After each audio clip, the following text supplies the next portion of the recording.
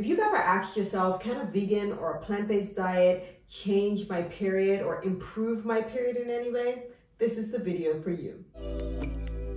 Now, there is some evidence that suggests that vegan diets can be beneficial for some people's menstrual cycle. But let me tell you from the onset, I am a plant-based eater. I am vegan. My shirt even says plants are cool. If that doesn't tell you I'm vegan, then I don't know what will. I've seen many positive changes to my period since I started eating a fully plant-based diet. However, that's not what this video is about at all. This is not anecdotal evidence. I'm gonna share real concrete things that the scientists are saying. However, if you would like me to create a video about my personal experience, because I think those are fun, so you can see exactly what I did, what I eat, and how it changed my period, I'm open to do that as well. So let me know in the comments if you would like to see that. So I share that information because I want you to know that there is going to be some inherent bias, like there is in just about every video you watch. Someone has their own feelings, thoughts, and opinions about it. However, in this video, I'm going to try to be as neutral as possible when it comes to this topic. And I'm going to be doing that by referencing references.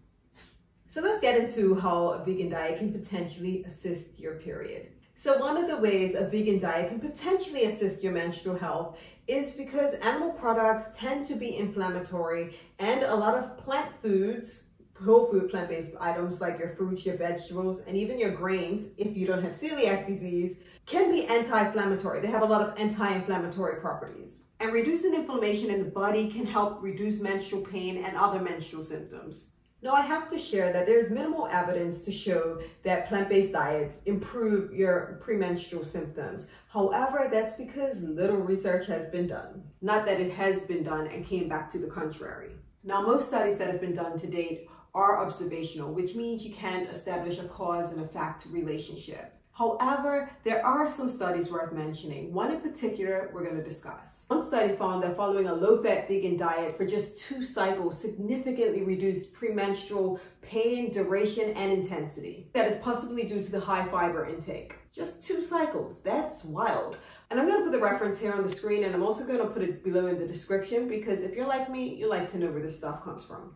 Also, Texas Healthcare Obstetrics and Gynecology shared on the website that a high fiber diet is not just beneficial for digestion, but it can help ease period pains. Combined with a low fat diet, high fiber intake can help lower estrogen levels. Once estrogen and progesterone have been used by the reproductive system, they're through the liver and pass through the intestines. This said, I have to add a slight caveat here. Because plant-based foods are super high in fiber, they are nutritionally dense, which means that you're gonna get fuller quicker as you're eating, which isn't necessarily a bad thing. However, you wanna make sure you're meeting your minimum daily caloric requirement, whatever that is for you, because you don't wanna be under eating and starving yourself. And someone may mention, but what about iron? What about protein?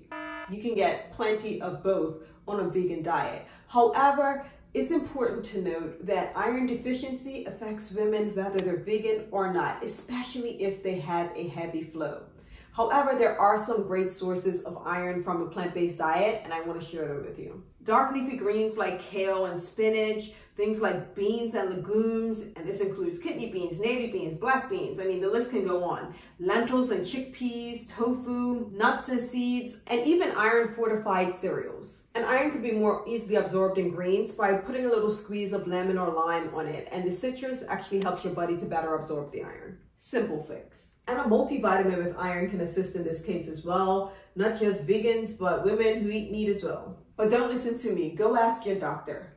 I'm your doctor. Now, there are so many different topics on this spectrum that I can talk about, but let me know if this is of interest to you. If so, I will dive into this and we can make it a whole series and include a whole bunch of videos specifically about vegan diets, getting your protein, getting your iron, and how it improves and impacts your period as well. If that's something you're gonna be interested in, let me know in the comments and I'll create it for you. We're besties after all. If you enjoyed this video, I'd suggest you watch this one next.